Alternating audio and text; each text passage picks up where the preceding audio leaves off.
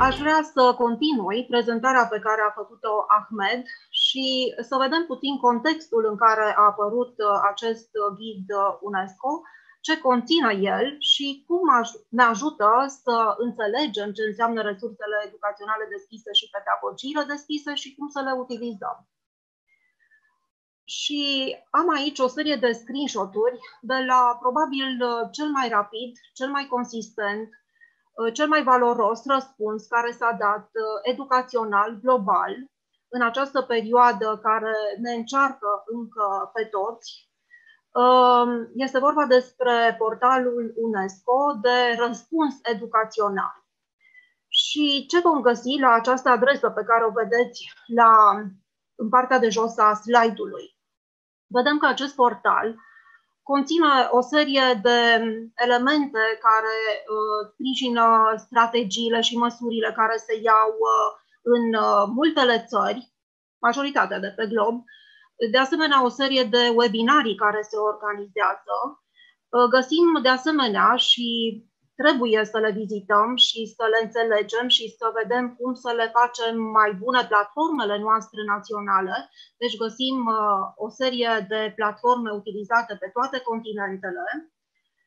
Uh, apoi găsim soluții pentru învățarea la distanță și, de asemenea, găsim niște coaliții formate în această perioadă. În cel de-al doilea screenshot am făcut uh, o preluare a ceea ce se prezintă ca fiind platforme naționale pentru România. Este vorba despre proiectul CRED și Liviu ni-l va prezenta. Este vorba despre site-ul manuale care însă nu are uh, licențe deschise și este vorba despre programele care au fost uh, derulate pentru elevi uh, de către televiziune.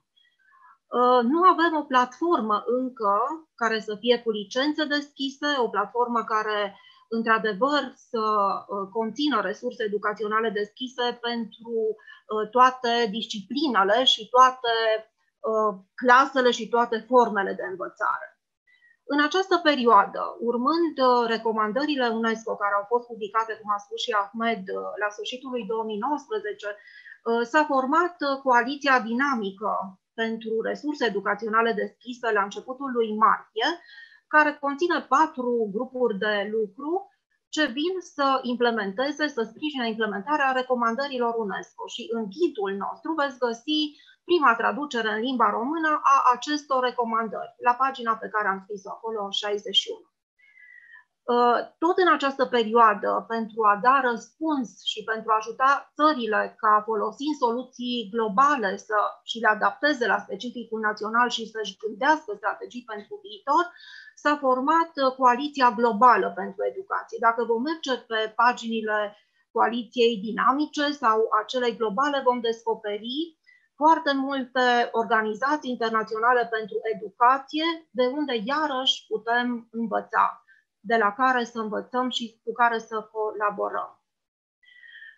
Acum despre ghid. Uh, am văzut, spunea și Ahmed, uh, ghidul în limba engleză, care a fost publicat sub egida UNESCO și scrierea lui a fost coordonată de către Institutul din Beijing. Uh, a apărut în 18 mai, are un grup de educatori, de creatori, de autori din mai multe țări și a fost creat ca și o resursă educativă educațională deschisă, deci publicat sub licență deschisă. Lucrul acesta ne-a permis, nou, ne-a permis nouă, uh, deci împreună cu Diana și cu Gabriela, să îl uh, traducem, să îl adaptăm, creând o resursă educațională deschisă de sine stătătoare. Deci este metoda poate cea mai rapidă să găsești o resursă educațională valoroasă pe care să o traduci, să o adaptezi, bineînțeles, dând credit Uh, autorilor care au creat uh, resursa primară și după aceea, bineînțeles, că adaptarea poate să meargă mai departe. Ghidul nostru în limba română l-am uh, publicat în 28 iulie și în cele 10 zile trecute vă mulțumim pentru interesul mare.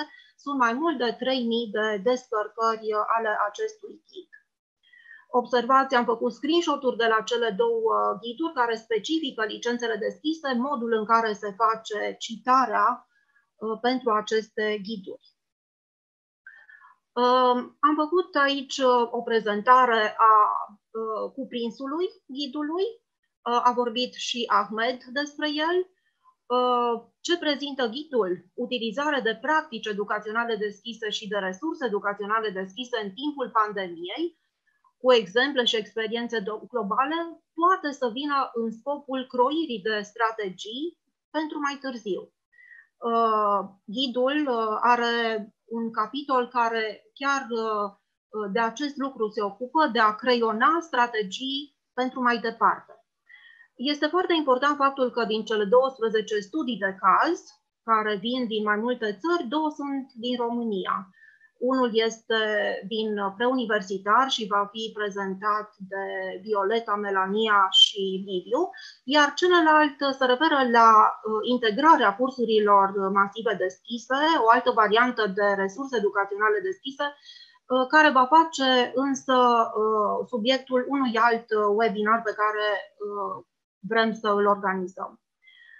Uh, sunt foarte multe resurse valoroase pe care putem să le uh, consultăm și aș spune eu că acest ghid ne ajută să descoperim, să învățăm, să adaptăm, să lucrăm și să creăm împreună.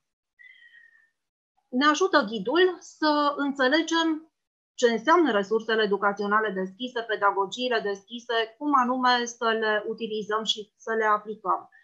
Uh, la pagina 8 veți găsi un, um, o detaliere, o descriere a noțiunilor uh, din ghid și aici veți găsi ceea ce înseamnă educație deschisă, cea pe care încercăm uh, toți să o realizăm.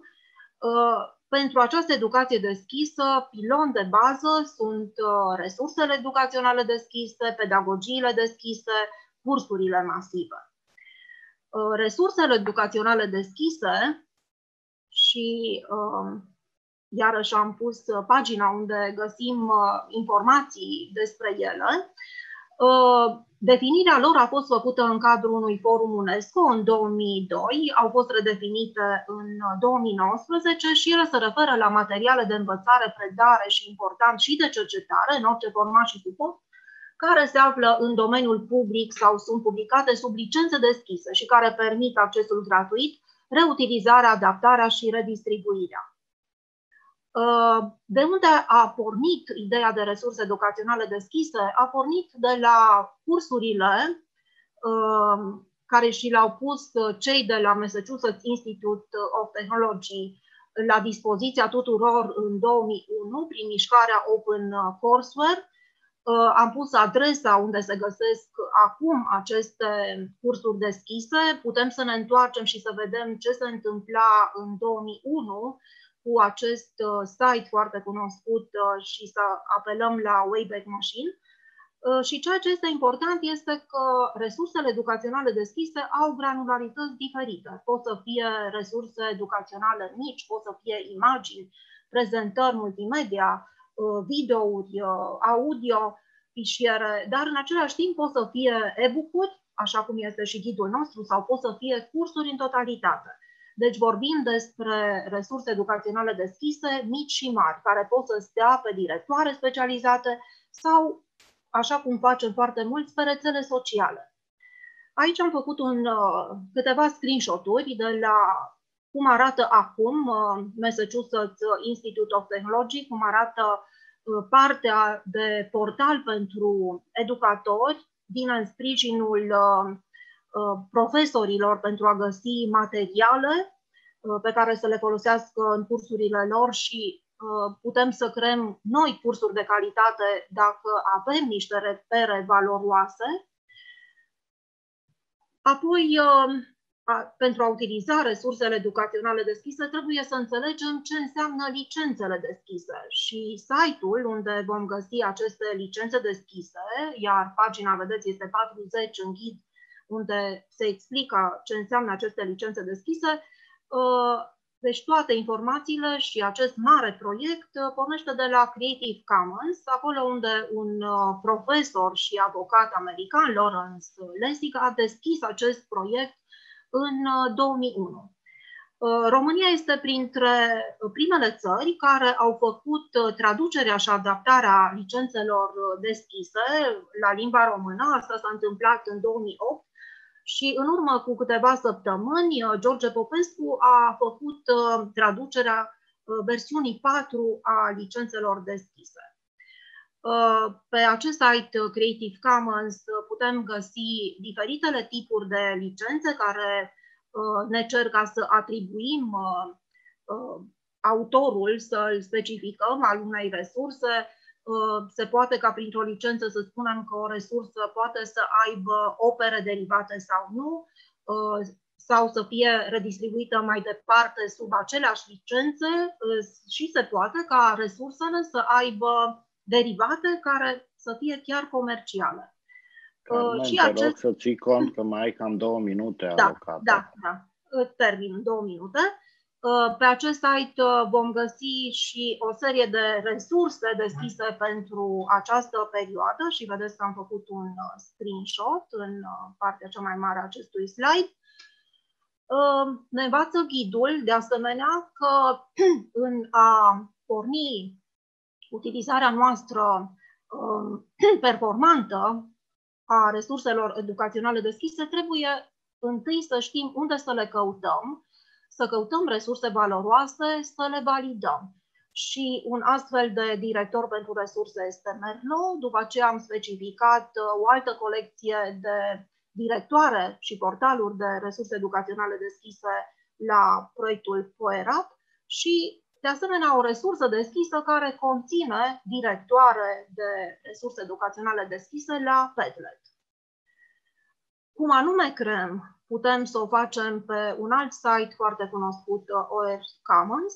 Putem apela la o serie de tooluri uh, pe care le găsim uh, la Centrul uh, pentru Învățare și Performanță din Anglia. Am pus linkul mai jos Uh, care de asemenea uh, publică de vreo 12 ani un uh, top al toolurilor educaționale utilizate de educatori de pretutindeni. Sunt deci primii pași în a înțelege ce înseamnă resurse educaționale deschise și a le utiliza. Eu mă opresc aici și colegii mei vor continua în a vă angrena în uh, minunata muncă de a înțelege, a utiliza și a crea resurse educaționale deschise. Mulțumesc!